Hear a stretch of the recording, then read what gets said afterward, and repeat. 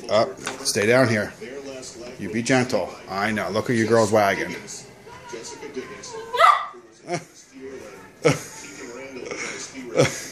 I know she's big.